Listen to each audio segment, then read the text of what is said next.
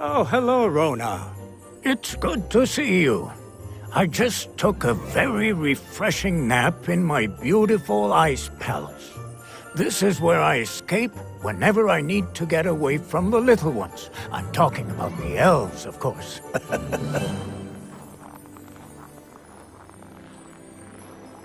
I received a letter from your son. Let's see what it's about. What a marvelous person.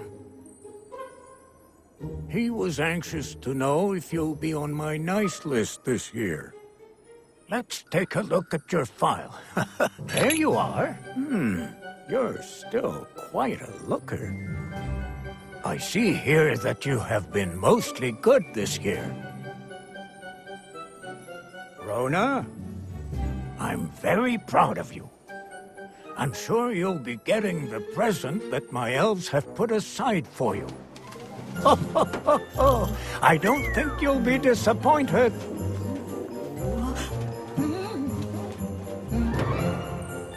I'd better get back to work. It was good to see you.